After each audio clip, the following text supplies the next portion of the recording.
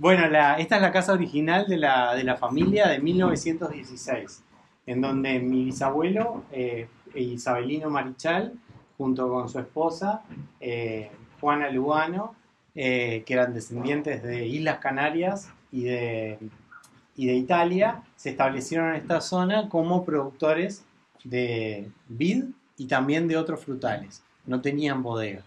Y en 1938 decidieron eh, construir la bodega para elaborar sus propios vinos. Y bueno, desde ahí hemos atravesado como la historia de, de toda la historia de la vitivinicultura uruguaya, produciendo vinos localmente eh, y empezando a, a, desarrollarnos hacia afuera también de a poco, a exportar y apuntando obviamente desde el año 90, más o menos que hubo una gran reconversión vitivinícola acá en Uruguay, a, que eso ya fue la generación de mi padre, eh, apostar a la, a, la, a la, calidad y a un potencial de Uruguay eh, de, con visibilidad internacional. Así que bueno, esta es la casa original de ellos, de 1916, que actualmente tenemos una pequeña salita de degustación, las oficinas acá, y, y guardamos algunos de los elementos antiguos de la familia.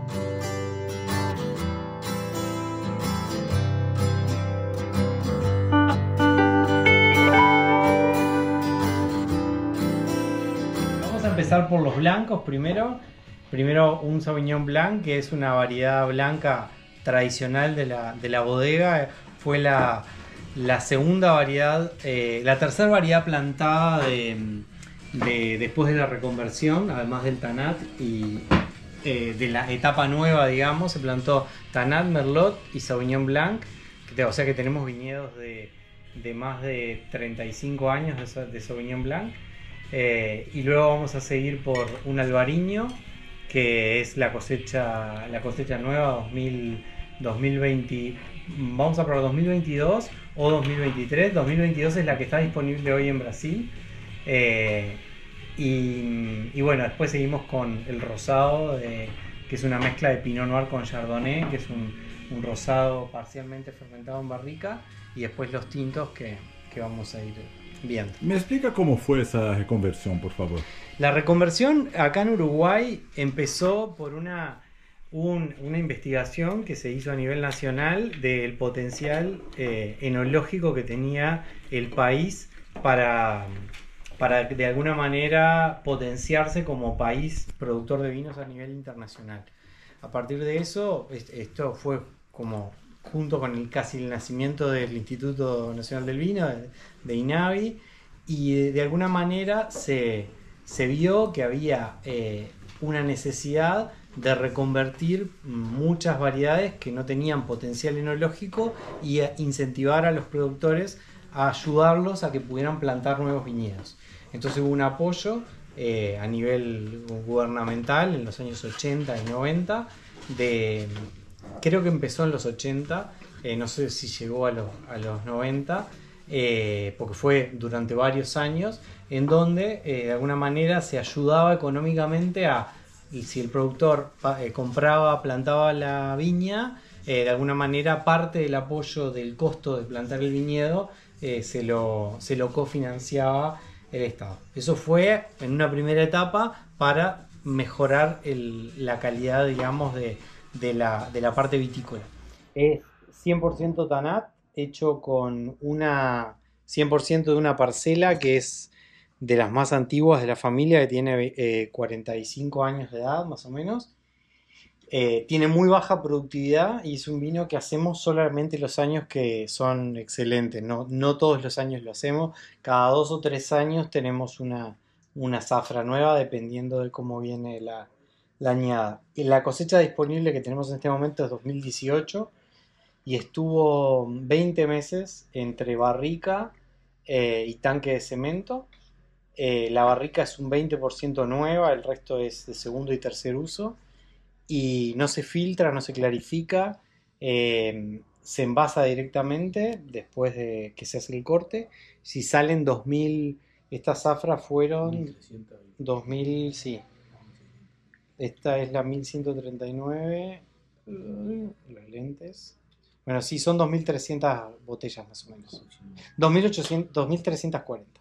Es el, un Tanat que busca ser fresco, ser elegante, eh, no demasiado complejo, este vino tiene eh, mucho más complejidad, tiene elegancia también y un aporte de madera que no queremos. Antes lo hacíamos 100% de barrica nueva y ahora es como que hemos ido eh, bajando la cantidad de barrica para como lograr más la, la expresión de, del, de la uva. Cuarta generación de la familia Spinoglio en Uruguay. Eh, mi bisabuelo Luigi Spinoglio llegó de Casale Monferrato, del Piamonte de Italia, fines de 1800, 1894. Eh, y bueno, y, trajo como tantos inmigrantes a Uruguay un, oficio aprendido y ese era el de vitivinicultor. El, su tío era el enólogo de Casale Monferrato, era el, era el párroco de la iglesia de Casale, que ahí tenían la bodega del pueblo y, bueno, y, tenía el oficio. Em- empezó a producir uvas en Uruguay eh, eh, en un formato de medianería, donde él ponía el trabajo y, la chacra en Canelones que se había instalado él, el, dueño de esa chacra le plantaba viñas para que él trabajara. Y bueno, y ahí empezó la historia de Spinoglio con la producción de uva y vino en Uruguay. Eh, existe una bonícola Spinoglio en, en, en Casale de Danilo Spinoglio, que bueno, que son de la misma rama. Este, y bueno, mi padre Ángel después es el, el que hace el mayor desarrollo eh, de... Bueno, después siguió mi, eh, mi- mi abuelo Juan, eh, que muere muy joven, y mi padre Ángel con 16 años toma a cargo la, la, la- sí, la- la vinícola, eh, que la tenían en Montevideo, hoy ya es ciudad ahí, pero en su momento era todavía zona rural. Este, y mi padre compra en el año 1960 este establecimiento. Aquí en, estamos en- dentro de Montevideo, la Cuchilla Pereira. Este, bueno, estamos dentro de la zona sur de Uruguay, la mayor, la zona más, más grande de producción de, de uvas y vinos del país. Este, y bueno, y, y yo tomo un poco las riendas del establecimiento, un poco no, del todo, a full, en el año, eh, en, en el año 2009 y hacemos una gran reconversión del establecimiento hacia la producción de alta calidad, desarrollo de turismo enológico eh, y bueno, y apuntando a la, exportación de vino. O sea, eh, ahí hacemos un, reperfilamiento muy fuerte, empezando por el viñedo eh, y bueno, después siguiendo por bodega y demás. Nosotros vinificamos porque nuestra bodega también se especializa en dar servicios de vinificación a otras, a otras bodegas y otras marcas. Entonces vinificamos mucho de, de diferentes partes del país, lo cual enriquece mucho nuestra experiencia como, como elaboradores y bueno, no- no- nos ha dado un poquito el, el- aprender de lo que son todas las regiones del Uruguay, eh, el potencial que pueden tener diferentes variedades eh, eh, y, bueno, y entonces hoy estamos tratando de aprovechar ese, conocimiento en, en- en- en- en desarrollar pequeñas partidas especiales de parcelas elegidas en diferentes lugares para, para nuestra línea de, de alta gama. Bueno, que se, se usa en otras zonas de- del mundo eh, con viñedos viejos porque ya no tienen una gran follaje, Sí, de sacarle todos los palos, alambres y dejarlos tipo arbolitos. sí, sí, sí, sí. Y para poder hacer como que estén incorporados al parque y ser un recorrido, más allá de que sigan produciendo. Claro. O sea, cambiar un poco el,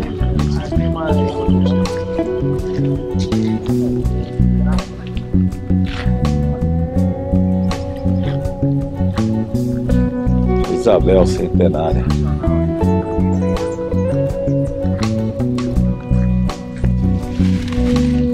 Ahora tenemos que sacarle, ralearle un poco de uva porque viene Olha muy que cargada. espetáculo. Ah. Nessa idade produzindo Sim, sim. tanto. Aquí pueden observar lo que es el, el- el- un poco lo que es nuestra, nuestro, nuestro lugar, la Cuchilla Pereira, que tiene la característica de ser el lugar más alto dentro del sur Uruguay. Uruguay es un país bajo. eh, a los extranjeros hay que decírselo con cuidado porque le decimos 85 metros sobre el nivel del mar y le da un poco de gracia que es alto. Pero bueno, pero para nosotros tiene eh, condiciones importantes. Eh, eh, al estar 85 metros sobre el nivel del mar, que es, es, muy alto dentro, del- dentro de la zona sur. Eh, no tenemos heladas tardías, que es un problema muy grande, o sea, no hay cero riesgo de heladas. Y después tenemos esta brisa un poquito más acentuada que en el resto del sur, que es más chato. Este, y bueno, eso hace que a, a 20 kilómetros que estamos también del río de la Plata tengamos, tengamos una, una amplitud térmica un poquito mayor. Y, y bueno, y, una, y estas brisas que nos dan eh, una posibilidad de secar la, la fruta un poquito más rápido cuando levanta la humedad ¿no? o, la, Sí. o la lluvia. Eh, lo otro es que tenemos pendientes eh, eh, adecuadas para evacuar las aguas de las parcelas. Al estar en, en la cuchilla, tiene, es, digamos que son morros de suaves ondulaciones este, y que permiten una muy buena evacuación del agua. Eh, acá estamos enfrente a un viñedo de Merlot reconvertido, eh, plantado en el año en el año 2010, 2011, después que tomamos el establecimiento en el 2009, eh, ya pensando en la producción de alta calidad. Mi señora, bueno, es parte importante de nuestro proyecto acá también y eh, es la arquitecta a cargo de, de, de este reciclaje de pileta de vino en, en habitaciones. Ella tiene, en realidad, Buena idea. eh, eh, sí, Buena idea. ahora capaz podemos, si no, capaz que nos dé- podemos Sí, entrar. ver, entramos. Ah, pero le iba a decir que ¿Les podemos entrar ¿Les en algo ya? No, no les conté nada, así que contales Ah, vos. bueno, les cuento. Estas, estas son, si, eh, si visitaron o van a visitar alguna otra bodega, van a ver que estas estructuras cilíndricas son muy comunes acá en En, especial en los años de auge de la vitivinicultura de, vinos de mesa. Se elaboraban muchos litros y se necesitaban recipientes bastante grandes. Entonces eh, podemos encontrarlos desde 70.000 litros hasta como esta 150.000, hasta piletas de 300.000 litros, de este, con esta misma estructura, que es una estructura de bloque de hormigón que después tiene colado por dentro eh, una, una, un- una- una pared de hormigón armado y después, bueno, ya queda que la estructura es muy resistente. Sí. Y bueno, con el recambio que, que- que hemos hecho de, de- de apuntar más a, a otro tipo de vino, el Uruguay se ha reconvertido un poco para, para- para elaborar vinos de otra, de otra categoría. Lo- estos recipientes dejan de tener sentido.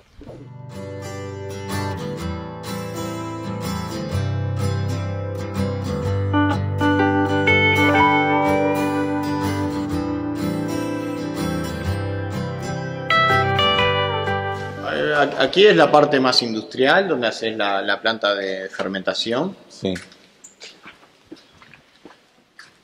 Y nuestra bodega está certificada por, por el LSQA con normas internacionales de trazabilidad de los vinos para asegurar el, el- que la uva que entra y lo que llega a la botella viene de esa uva. Este, y bueno, entonces tenemos un trabajo de, de logística importante aquí adentro. Tenemos, eh, tenemos cubas de, de hormigón del entorno de 10 y 11 mil litros, que es una buena capacidad para fermentar. Esas son esas. Sí, estas Sí, que es son. una buena capacidad para fermentar las, las parcelas por separado. Y bueno, y después tanques de 7, 5, 3, este, 2, 1, de, de- de de mucha, de mucha cantidad. Toda la producción está controlada, todas las vinificaciones con control de temperatura. Eh, y bueno, Ha tenido una época que se olvidó el hormigón y ahora vuelta con eh, ahora todos hormigón de vuelta, sí. De eso, eso. Y dentro de un tiempo volveremos a, Sí, sí. a otra cosa. Sí, sí. El mundo va cambiando. Pero el hormigón es un material muy, perdón, muy noble, donde tiene la ventaja al acero inoxidable de, de mayor inercia térmica. Eh, no toma tan rápido la temperatura exterior. Este, y bueno, si uno quiere hormigón súper higiénico, tenemos pinturas epoxis que funciona como un acero inoxidable. Y si queremos hoy, que se está empezando a usar de vuelta, que el vino respire por el hormigón y se vaya creando una historia ahí, los vinos que estuvieron adentro con, con los tártaros que van quedando, también es posible.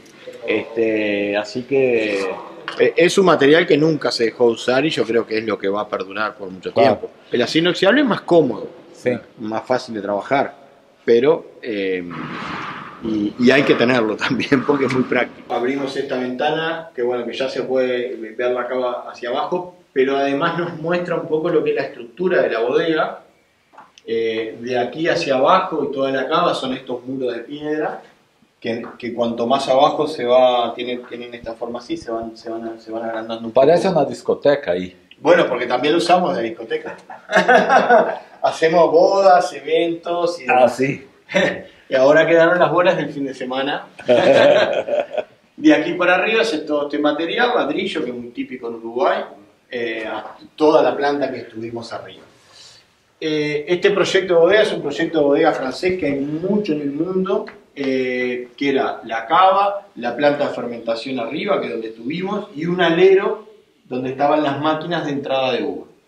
Eh, después la cava tiene acceso, aprovechaban la altura del terreno para, para hacer la cava y después a su vez tener una, una salida a nivel de suelo, que es por, que es por allí atrás.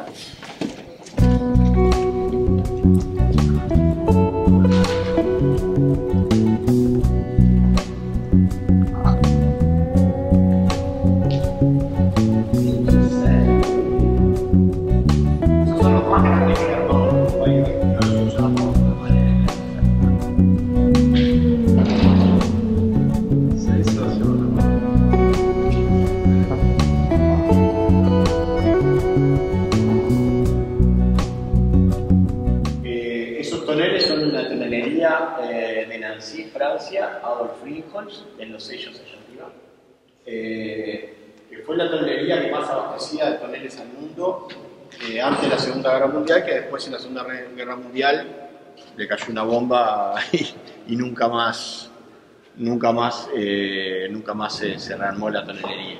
Hay muchos toneles de este porte en Mendoza, en- en- siempre yendo a estructura de bodega antigua. Una, una cuba de vino también, de, de 60.000 litros, que la abrimos para poner eh, barricas, pero a su vez hicimos un pasaje porque había un viejo aljibe, se le llama acá, no sé en portugués, sí, Cisterna, una cisterna, ok, para salvar agua. para, para juntar agua, eh, enterrado, muy grande, entonces hicimos un túnel para unirlo con la cava y, y- y lo tenemos ahí.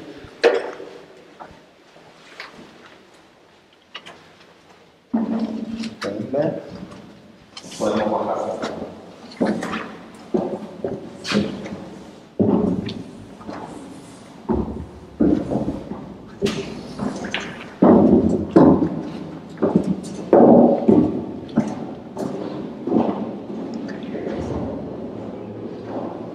Y también utiliza esas ánforas.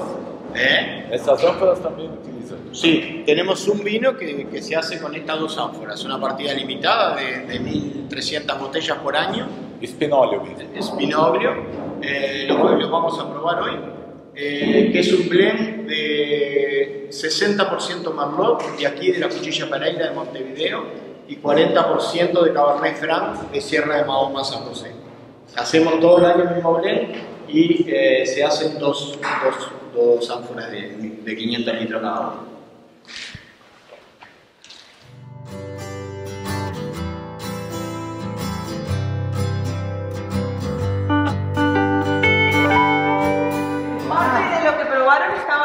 Estaba ahí. Estaba ahí. Essa, essa foi ótima. Tô vendo umas botelhas lá que a gente deveria ter provado. Ela falou, mas o que vocês provaram estava ali. Dos de las botellas están ahí. El resto las tenemos etiquetadas, guardar las tapas allá en un lugar donde hay aire acondicionado. Pero está súper fresquito ahí. Ahora cuando bajen todos hacemos el. Pablo, que lo que, bueno, emigrando de la guerra, este, en realidad llegó acá, era un menor de edad, no tenía ni 18 años, pero la madre para escapar de la guerra lo puso en una balsa, porque fue así, o sea, lo, lo dejó en la balsa y bueno, y escapate de la guerra. Y en realidad lo que único que sabía hacer él era vino, porque su familia era lo que hacía en Italia. Cuando empezó trabajando en Argentina, las vías férreas, estuvo ayudando un poco ahí y bueno, terminó acá en este lugar, coincidencia, porque hoy nos damos cuenta que el suelo es muy propicio para la viña, pero en realidad él no miró ni el suelo ni nada, o sea, llegó a este lugar y empezó a construir su bodega, que es esta. 110.000 litros de capacidad, distintas capacidades, son distintas piletas, pero que hasta el día de hoy la seguimos utilizando, o sea, se están mantenidas, pintadas con epoxi, que es la pintura, bueno, eh, propia para apta para el vino, pero se siguen utilizando esas este, y en realidad él molía por desnivel, mucho de lo que hoy se está volviendo también a esa, a esa forma de vinificar. Bueno, esta era su bodega, que ya les digo, la seguimos usando y la vamos a seguir usando.